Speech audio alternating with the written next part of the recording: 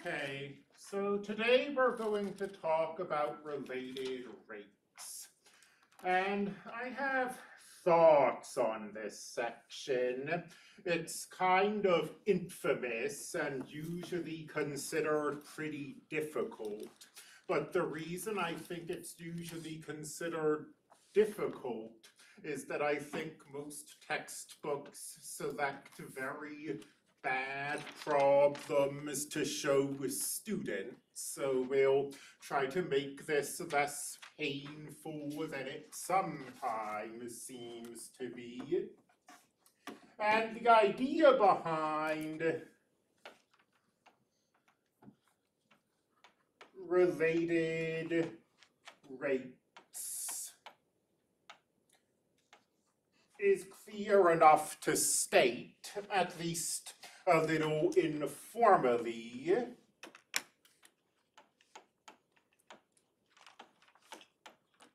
Remember that rates of change are derivatives. So you can think of this title of this section as being related derivatives.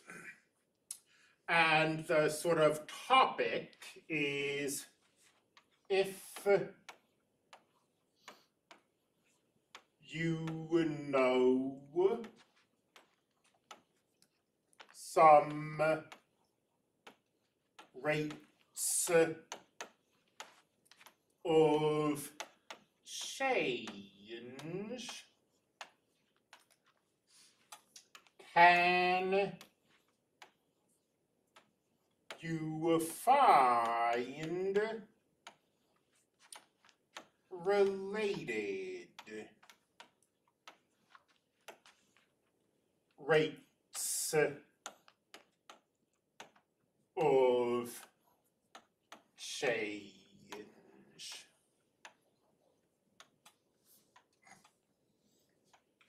And these are all word problems, so for some students, that's strike one against this section. I know that not everybody loves word problems. And at least as they're traditionally presented, they require a bit of setting up. That sort of give a prototypical related rates problem that we can look at and solve, uh, but then also discuss a little. So we'll look at good old Alice and Bob of ten thousand math word problems. And we'll say that they're starting at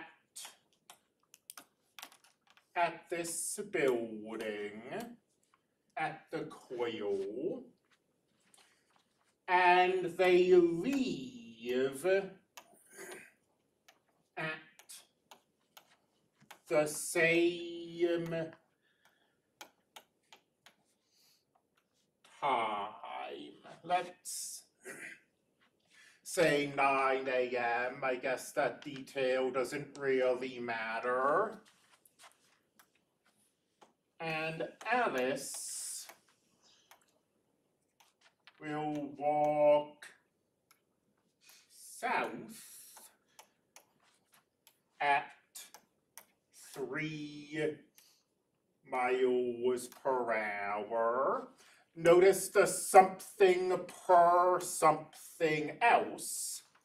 This is a derivative, which um, we knew already. Speed is a derivative. Um, velocity is the derivative of the position function, I should say. And that's that Bob walk east at some other rate. Let's say two miles per hour. And again, the velocity is the derivative of a position function. So we're being given derivatives here, even though that word does not appear on the board.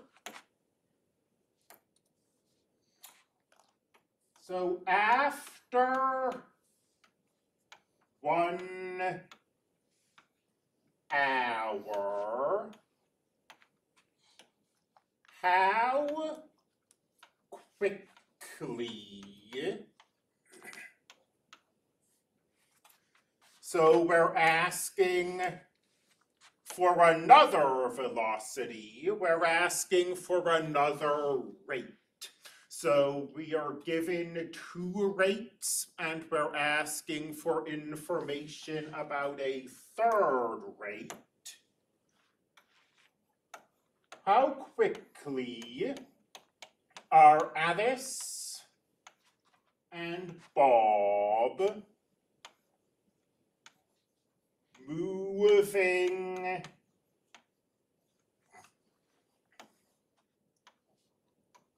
apart.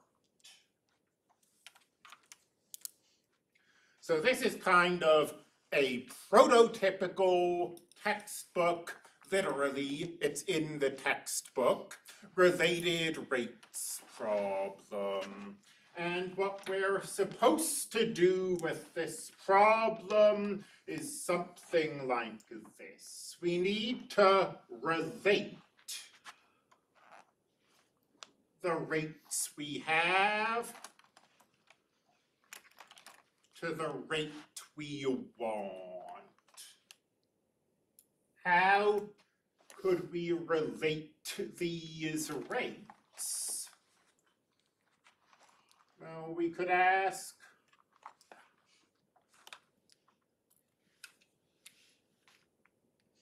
what's happening here pictorially. And what's happening is that we've got coil and then someone walking due south from it and then someone else walking due east from it. Who's who?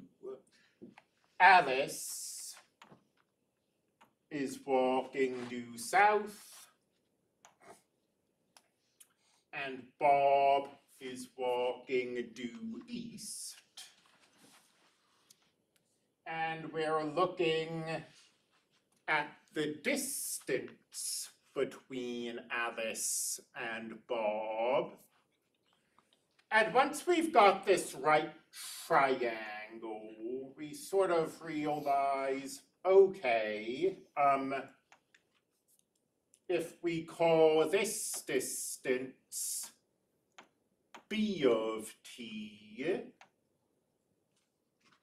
and this distance A of t. And we're interested in this distance, which I'll call C of t, just because I've just used A and B. What's the relationship between A, B, and C? Pythagorean theorem, thank you very much. A of t squared plus b of t squared equals c of t squared. And now we want rates. We know A prime, we know B prime, we want C prime. How can we, how can we bring rates into this problem? Well, this now ties back to what we talked about yesterday. Um, we can perform implicit differentiation here. A of t, B of t, and C of t are both functions. We're maybe not entirely sure what these functions are. But we did this yesterday when we had implicit differentiation. We had a function y. We maybe weren't precisely sure what y is, but you can still use the derivative, take the derivative, making sure to use the chain rule. So the derivative on the left is two times a of t times whatever the derivative of a of t is. Again, this is the chain rule. We've got a function being squared. We're taking the derivative of a function squared. The chain rule says to take the derivative of the outside function with the inside function inside of it, and then multiply by the derivative of the inside function. And if we again use the chain rule, the derivative of b of t squared. We take the derivative of the outside function with the inside function inside of it. That's the 2b of t. Then we multiply by the derivative of the inside function. We multiply by b prime of t. equals one last time two times C of t times C prime of t. And we could simplify this a little. We've got all of these twos. Every term in this equality is being multiplied by two. So if we divided both left and right by two, we've got a times a prime plus b times b prime equals c times c prime. And we are given information about two of the primes on the board. A prime and B prime are the velocity that Alice and Bob are moving at. I've tried to emphasize already that those rates are derivatives. So A prime is three, B prime is two, C prime is unknown. What about A, B, and C? Do we have to give up? We are not given any information about A, B, and C explicitly. But it's probably pretty evident that I didn't do this problem only to give up at the last step. We have not yet used the information that one hour has passed. And if one hour has passed, and Alice is walking at three miles per hour, then Alice has traveled three miles. And if Bob is walking at two miles per hour, then Bob has traveled two miles.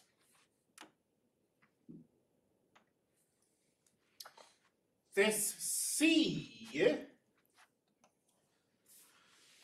we can figure out.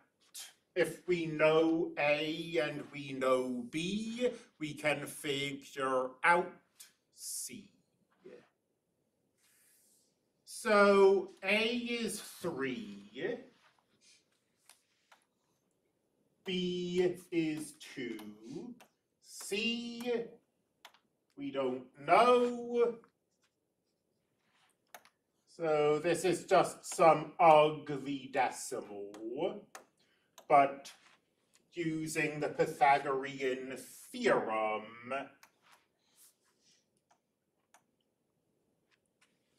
C is the square root of thirteen. I know I'm moving a little fast. That's because I want you to see an example of a related rates problem, but I don't really want to dwell on examples that look like this. Putting aside questions of like whether you could replicate this work, does this work at least make sense to everybody so far? then we're basically done. Um, three times three is nine.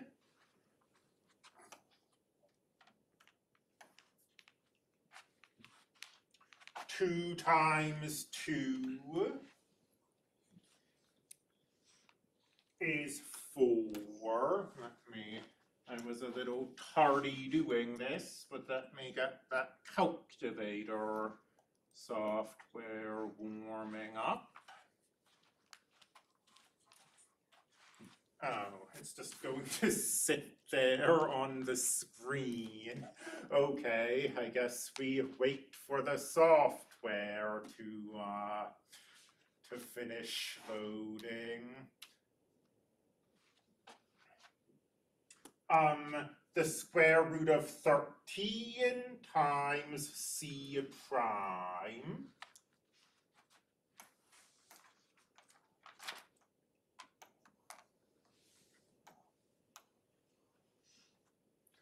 So thirteen equals c prime times the square root of thirteen and one last algebraic division step.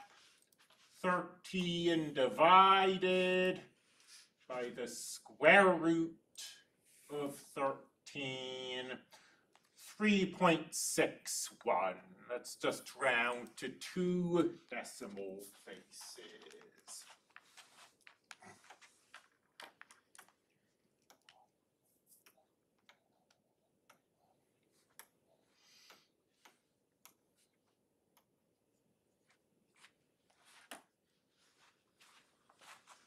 It's hard for me to overstate how artificial these textbooks related rates problems tend to be.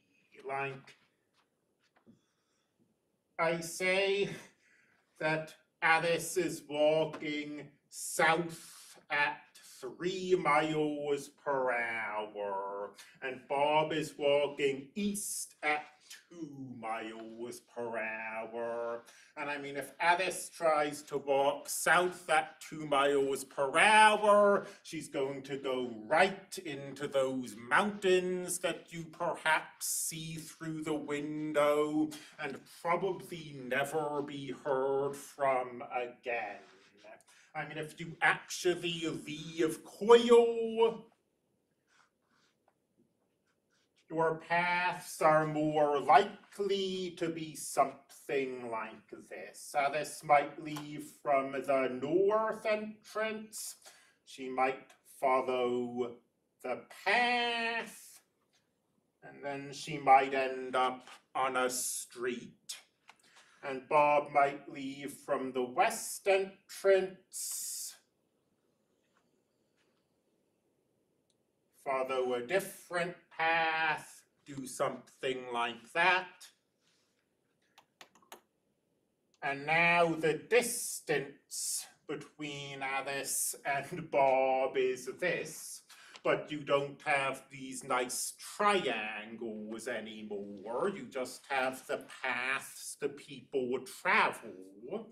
So you don't have the Pythagorean theorem or any very good way of relating Alice's and Bob's position, and the entire problem kind of falls apart. And basically all the related rates problems in the textbook are like this. So you have sand falling in a perfect cone such that the base of the cone is always exactly one half the height of the cone.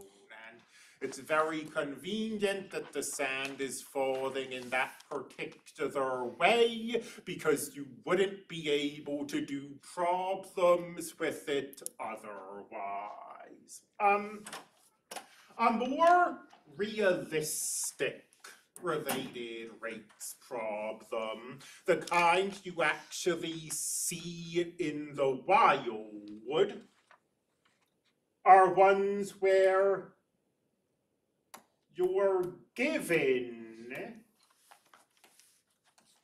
one equation.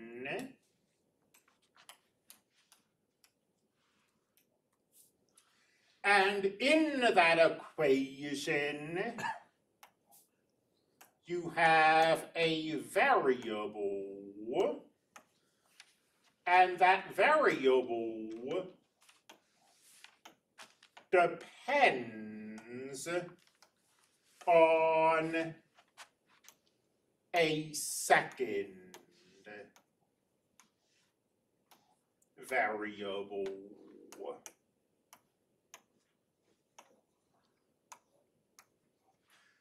So this is a very chain rule situation. You might have you might be looking at the area of a circle and maybe the circle is changing with time. So the radius of the circle depends on a second variable, in this case, t.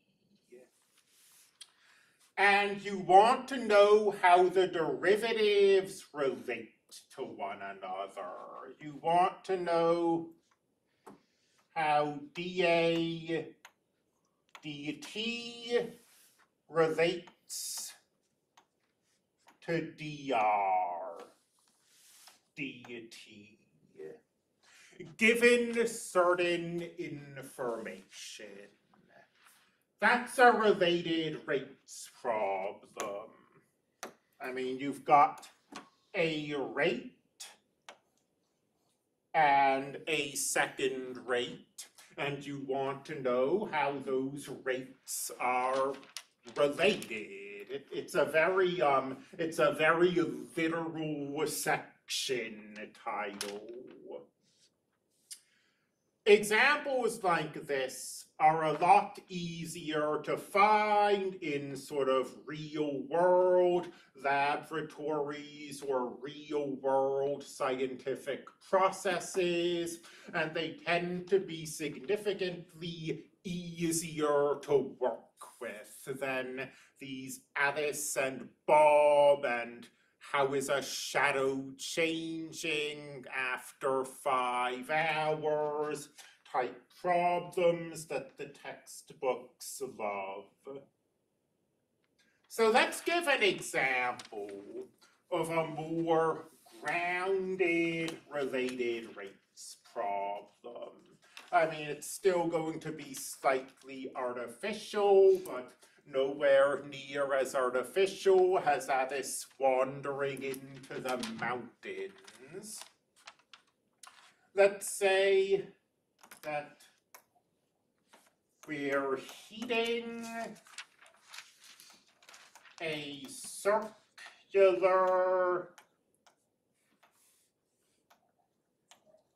thing. This example may sound very familiar. I said that related rates was very chain rule-y. We looked at heating circular plates when we introduced the chain rule. So the area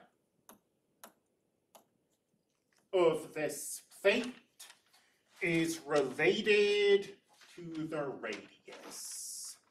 And if I then gave a formula for the radius and asked how the area is changing with time, let me be explicit about this if I haven't already. As a metal plate heats, it undergoes thermal expansion, so the area and the radius are both increasing with time here. If I gave a formula for the radius, as I say, this would just be the chain rule. No related rates at all. But it's probably struck you how convenient it is in this class that we always have these formulas.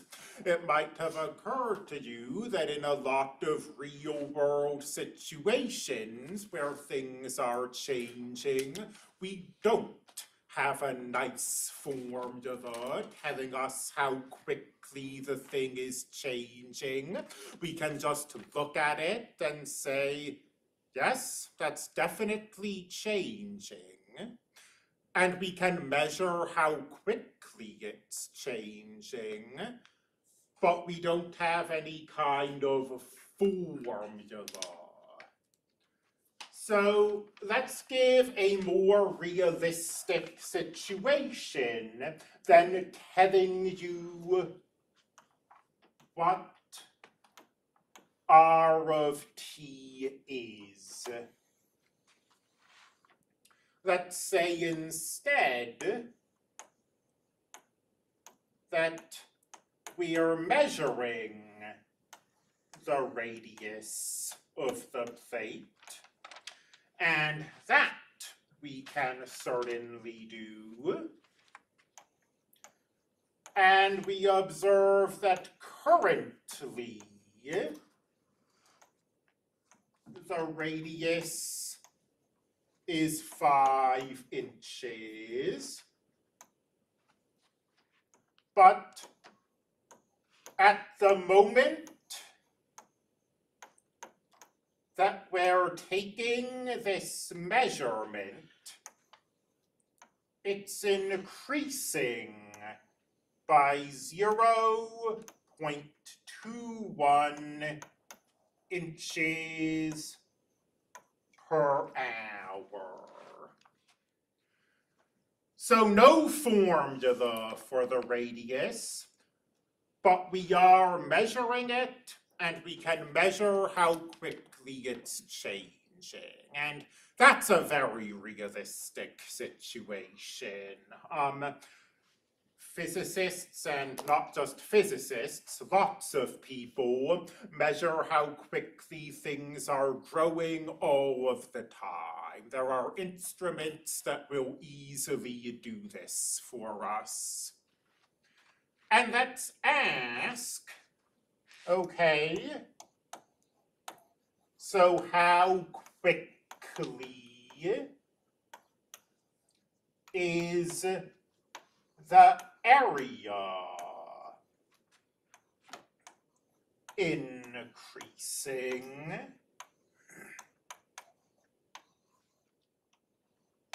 At this moment. And as I say, this is a much more, much more grounded example of what a real related rate sort of looks like. We're given a rate. We're looking for information about a second rate. And we're going to go over here. And we're going to use implicit differentiation. It was not for nothing that this section is after the implicit differentiation section. We can take the derivative of both sides. And on the left, well, the derivative of a with respect to t is the derivative of a with respect to t. That's exactly what we're trying to find. We're asked what dA dt is.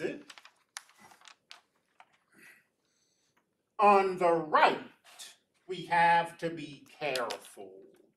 We're differentiating with respect to time. And I have not used, and it's pretty unusual to use, function notation. We have to recognize that as time is passing, the radius is changing. And therefore,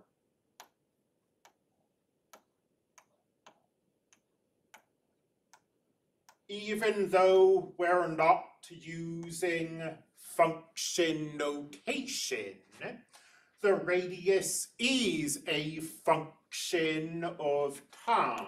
Let me give myself more room to work with. And the reason we have to recognize this is that if we don't recognize it, we won't use the chain rule. And we need to use the chain rule. We're taking the derivative with respect to t. The radius is a function of t. So we have a function squared. When we take the derivative, the 2 will come down. This pi is a constant. It will stay put. We'll stick the inside function in. And then the chain rule says that we multiply by the derivative of the inside function. And it will usually be pretty obvious if you make a mistake. If you forget to use the chain rule, you won't have that r prime, And when you go look at the data you're given, you'll see that we're given this information that it's increasing by 0.21 inches per hour. And there's no place to use that information. There's no R prime in that equation. So often you can see very quickly if you've forgotten to use the chain rule, but it's still something to be cautious about. And now plug and play, or just plug into our calculator. There's almost no playing to be done. We're told how the radius is changing. We're told what the current radius is. If we plug those both into that equation, into that expression, I guess I should say, we'll get the answer to the question we've been asked.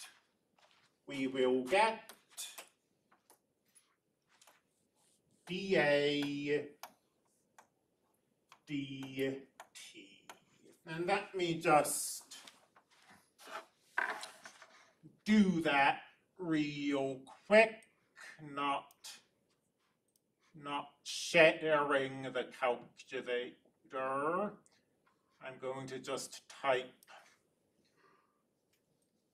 Sorry, I have to mess around with these Zoom things every time the calculator comes up.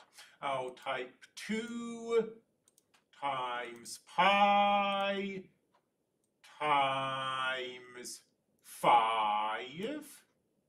The radius is five times zero point twenty-one. So two times pi times r times r prime. And six point five nine seven.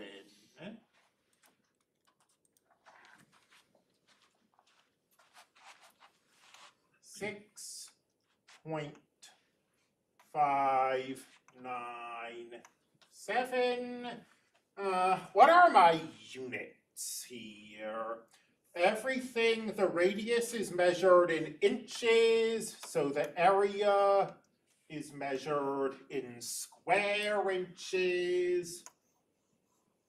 Time is being measured in hours.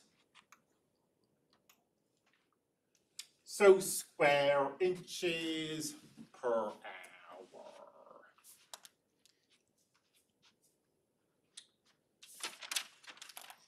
And the quiz, the quiz questions are like this. There's no, you drop a tennis ball from ten feet up and look at it, shadow questions on the quiz. They're all just, here's a formula, something's changing, find out how something else is changing by taking some derivatives. We have nine minutes left. We can at least look at another example. I mean, I certainly can look at another example. I feel like this example was probably longer than nine minutes. Um,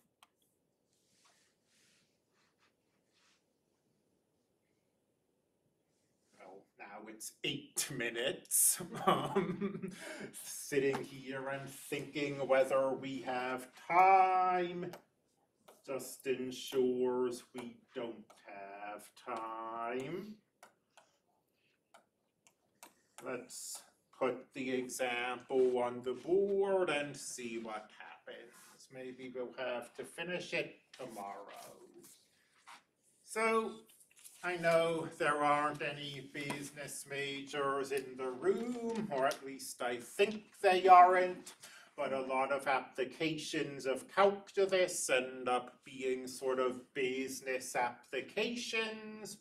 Let's look at the demand for a product versus the price of a product. And let's say we sort of have an equation between demand and price. Let's say that the demand of the product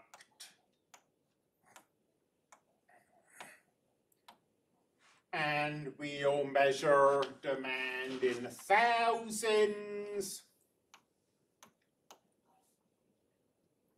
is estimated to be this square root, where this P is the price in dollars. And where would this equation come from? It would come from data fitting. The, uh, the business, our theoretical business owner doesn't have like some big book of equations that he's opening and picking that out of. What he does have is data how the demand has changed when the price has changed in the past. And he uses some kind of data fitting algorithm. You might be familiar with linear regression, something like that, to estimate this equation.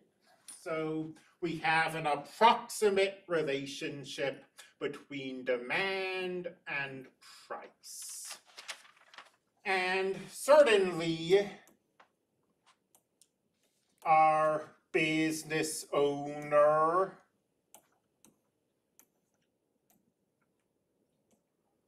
knows the current price of his product. Let's say thirty-five dollars, and he knows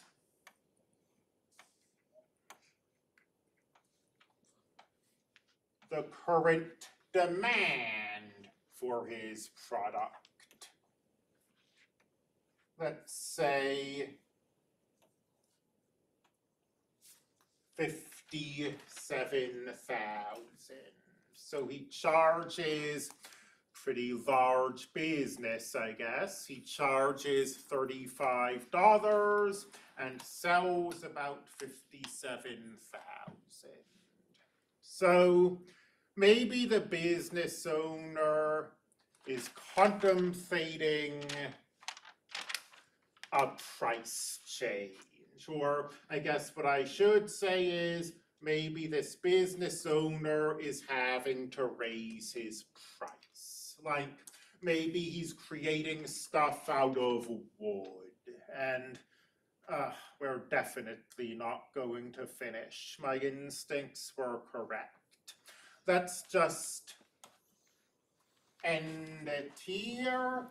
We'll pick right back up with this example tomorrow.